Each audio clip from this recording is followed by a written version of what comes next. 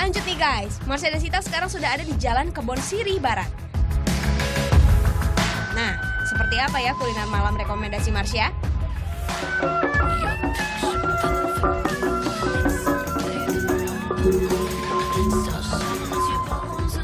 Lebih nikmat dari rekomendasi Sinta nggak ya? Yuk, kita lihat.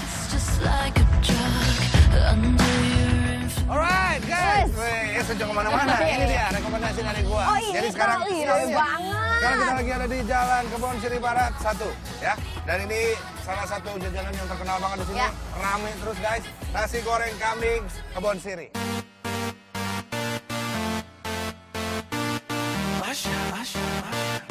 Yeah, man. So we back in the club Nasi goreng kambing Kebon Siri. Eh, betul ya mas ya? Lihat nih tuh, lihat banyak kambing. banget nih kayaknya nih. Tuh, Di kuali gede banget emang begini masaknya nih mas ya. Tuh lihat tuh udah jadi semuanya. Mantap. Gua dimasak karena ramai banget jadi mereka harus siap-siap. Oh, harus siap ya. Ya, ya, ya, ya. Ini ada apa aja? Ada kambing, ada ayam Ada ya. ayam juga ya mas ya?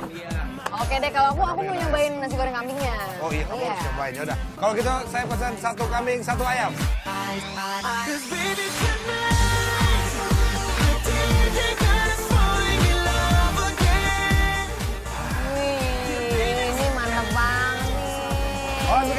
Ini tadi jadi ini nasi goreng yang tadi ada di kuali-kuali gede itu ya. Oh iya, iya, iya. Ada dua ya, ada ayam sama kambing ya. Ada ayam sama Iya, kambing. iya, Kita iya. cobain dua-duanya biar biar sedap. Lo kalau lo lihat dia ramai banget sih.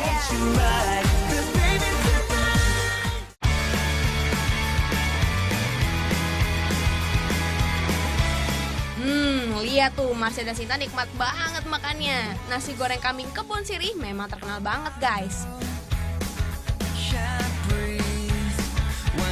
Di sini selalu ramai pengunjung, makanya sang owner memilih menggunakan wajan besar untuk memasak nasi gorengnya, agar jumlah pesanan nasi goreng yang sangat banyak tersebut bisa terakomodir. Unik ya?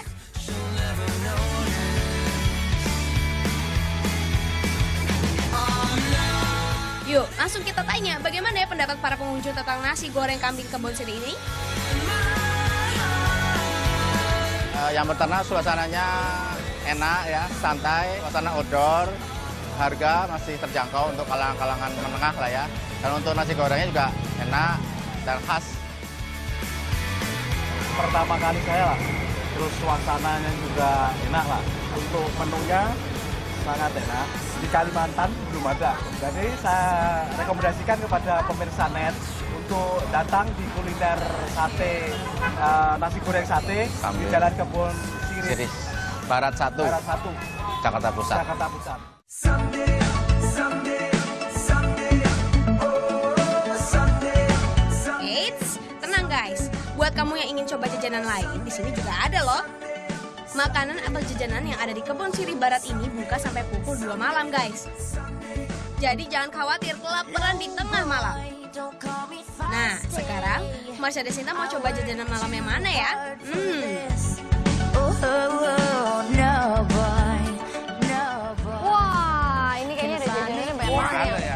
sepanjang jalan ini tuh jajanan semua ya. Oh iya, iya, iya. Ini salah satu tadi ada kalau kamu lihat di situ ada gulali, ada tahu gejrot, Ada rujak juga ada tadi. rujak, ada buah-buahan, Iya, ada iya, nasi goreng, dan salah satunya ini ada es krim ini nih. Es krim pot ya Es mbak? krim pot, wih. Ini unik banget sob, jadi es krim di dalam pot gitu. Iya, iya,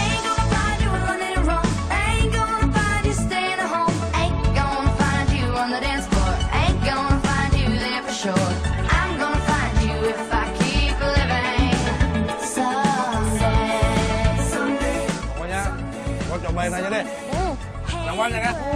Sedap. Kamu masih lapar?